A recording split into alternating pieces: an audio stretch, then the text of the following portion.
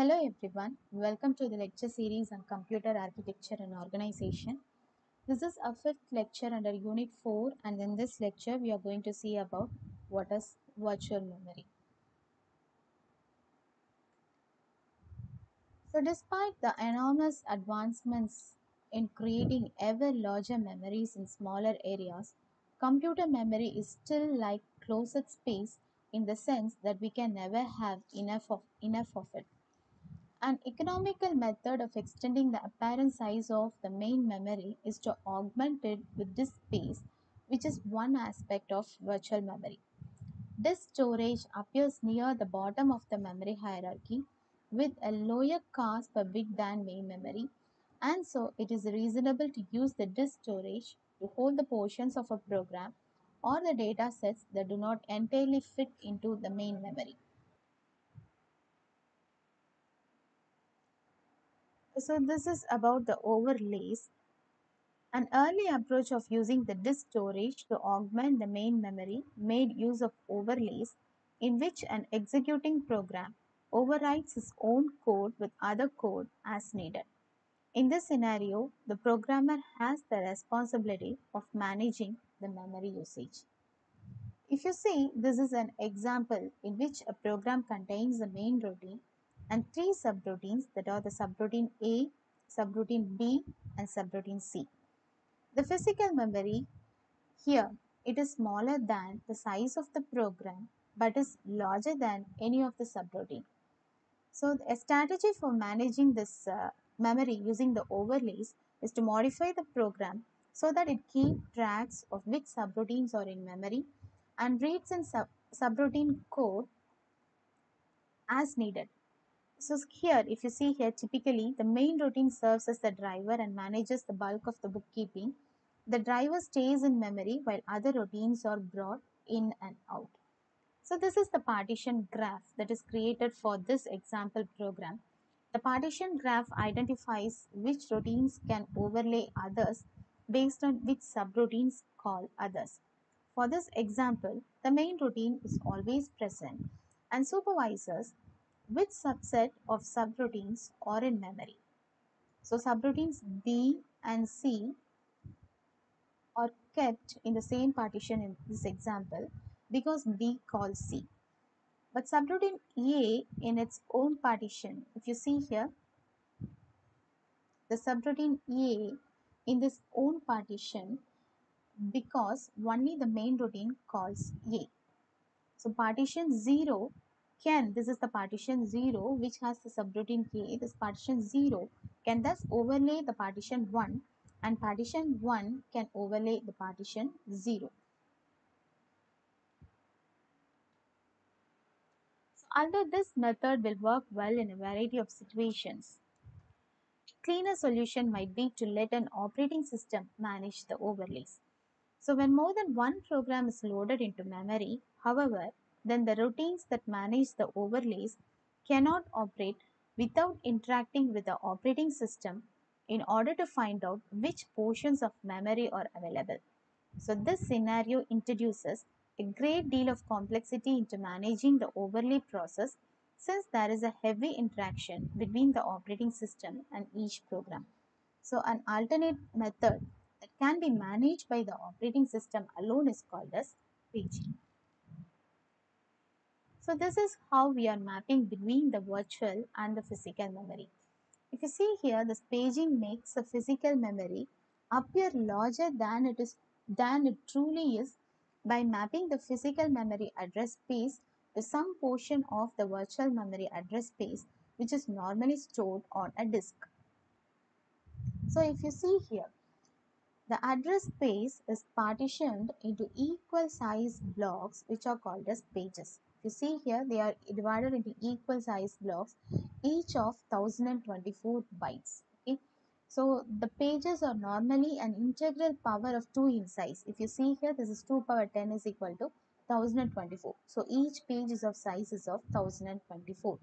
And this physical memory, this is this includes only the four frames, but these four frames are, are mapped to eight pages in the virtual address and this four frames actually poses to have a very large memory space than it truly is.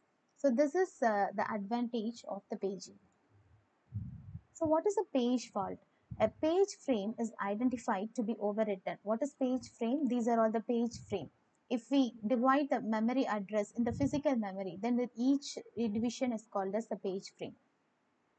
The contents of the page frame are written to secondary memory if changes were made to it so that the changes are recorded before the page frame is overwritten. So these are all the steps when the page fault occurs. Because page fault in the sense if you are searching for a page and if the page is not there, then it is called as the page fault. The second point is that the virtual page that we want to access is located in secondary memory and is written into physical memory in the page frame located in one above. So these are all the steps we are taking when the page fault occurs. The page table, which we are going to discuss very shortly, is updated to map the new section of virtual memory onto the physical memory. Then the execution continues. So this is a page table for a virtual memory. You see here, this is the page table uh, that is maintained by a virtual memory. So this will have will specify a disk address and it will check whether it is in the page frame or not so the page frame if it is there then it will be located like this. It will be denoted by the number of the page frame. In the previous one we have four. That is 0 0 0 1 1 0 and 1 1 frame. And so it will check for all the four frames whether the disk address specified is available in the physical memory or not. Then if it is there then the page frame will be entered and it shows the present bit. So this is like how the page table goes. So for the virtual memory that is shown in this figure, there are 2 power 13 that is 8192 virtual locations and so an executing program must generate 13 bit addresses which are interpreted as a 3 bit page number and 10 bit offset within the page. Given the 3 bit page number, we need to find out whether the page is, it is in either in one of the four page frames or it is in the secondary memory. So this is how the virtual address are translated into a physical address to check whether it is in the it is in the whether the data we are requesting or in the page frame or not. So if you want to check in the physical memory, then all the, all the virtual memory address should be changed into the physical memory address. So this is how it is checking. So in order to translate the virtual address to a physical address, we take two page frame bits from the page table and append them to the left of the 10-bit offset which produces the physical address for the reference word. So this is the virtual address. If you see here, the most significant 3 bits are used to search the page. So it is 100, it's searching the page 4. So it comes here. Okay. And this is the uh, this is the virtual address that is the total address. So reference is made to the virtual address that is 1001101 000101 and this is the page and the page is identified and hence uh, it is in this uh, page frame. Hence the, the the bit is set as 1 and if you see here the page frame this is the page frame where it is. So the page frame is just appended to the offset of the virtual address. If you see, this is the offset of the virtual address that is 1101.000.101 along with the page frame we have identified for this page location in the virtual memory. So this is appended and we are calculating the physical address here. Okay. And what is demand paging? It may take a relatively long period of time for a program to be loaded into memory. The entire program may never be executed and so the time required to load the program from a disk into the memory can be reduced by loading only the portion of the program that is needed for a given interval of time. So the demand paging scheme does not load a page into memory until there is a page fault. After a program has been running for a while, only the pages being used will be in the physical memory and this is referred to as the working set so demand paging does not have a significant impact on long-running programs. And now we are going for segmentation. What is the need of this segmentation? So the segmentation divides the address space into segments which may be of arbitrary size. Each segment in its, in its, is its own one-dimensional address space. This allows tables, stacks, and other data structures to be maintained as logical entities that grow without bumping into each other. Segmentation allows for protection so that a segment may be specified as read only to prevent changes or execute only to prevent the unauthorized copying. This also protects the users from trying to write data inst in, into instruction areas. When segmentation is used with virtual memory, the size of each segment's address space can be very large and so the physical memory devoted to each segment is not committed until needed. So here if you see this is a segmented memory that allows two users to share the same word processor which means that each and every segments are protected. If you see here this is the first segment. So this segment is meant only for the execution so it prevents the users from writing or reading. So it just goes only for the execution. And segment 1 is used for the data space for user 0 and is marked as read or write for user 0 so that no other user can have access to this area. If you see here, this is about uh, this is about uh, this section that is the segment 2 which is used for the data space for the user 1 and is marked as read or write for the user 1. So the same word processor can be used by both this user 0 and user 1 in which case the code in segment 0 is shared but each user has a separate data segment.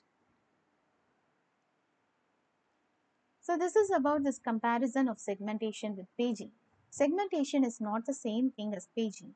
With paging, the user does not see the automatic overlaying.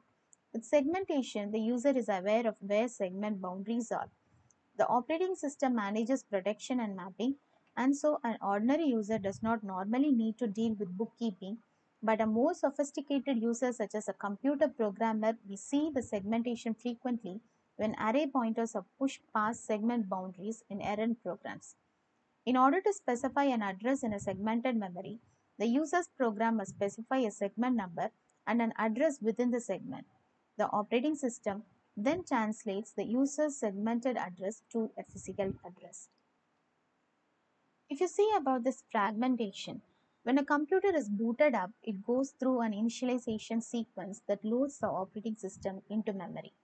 A portion of the address space may be reserved for I.O. devices and the remainder of the address space is then available for use by the operating system. This remaining portion of the address space may be only partially filled with physical memory. The rest comprises a dead zone which must never be accessed since there is no hardware that responds to the dead zone addresses. So this is the free area of the memory after the initialization. So this much free area we are having and this is one after the fragmentation. That is it is for program A and program B and for program C. And the free areas are fragmented. And we are having uh, uh, uh, the two free areas. If you see here after the fragmentation and this segment has two free areas and we are combining this uh, two free areas. And the if we combine the two free areas in this fragmentation this is called as coalescing. So let us see about this fragmentation the free area is a section of memory that is available to the operating system for loading and executing programs. During the course of operation, programs of various sizes will be loaded into memory and executed. When a program finishes execution, the memory space that is assigned to that program is released to the operating system. As programs are loaded and executed, the free area becomes subdivided into a collection of small areas, none of which may be large enough to hold the program that would fit unless some or all of the free areas are combined into a single large area. This is a problem known as fragmentation and is encountered with segmentation because the segments must ultimately be mapped within a single linear address space. Area is used that wastes the least amount of space. While best fit makes better use of memory than the first fit, it requires more time because all of the free areas must be scanned. So what is best fit and best fit? Uh, first fit and best fit. When the operating system needs to find a free area that is large enough to hold a program, it will rarely find an exact match. The free area will generally be larger than the program, which has the effect of subdividing the free areas more finely as programs are mismatched with free areas. One method of assigning programs to free areas is called first fit, in which the free areas are scanned until a large enough area is found that will satisfy the program. Another method is called as best fit in which the free area is used that wastes the least amount of space. While best fit makes better use of memory than the first fit, it requires more time because all of the free areas must be scanned. So this is about coalescing. Regardless of which algorithm is used, the process of assigning programs or data to free areas tends to produce smaller free areas. This makes it more difficult to find a single, a single contiguous free area that is large enough to satisfy the needs of the operating system. An approach that helps to solve this problem coalesces adjacent free areas into a single larger free area. In the figure, the two adjacent free areas are combined into a single free area and this is called as coalescing. Thank you.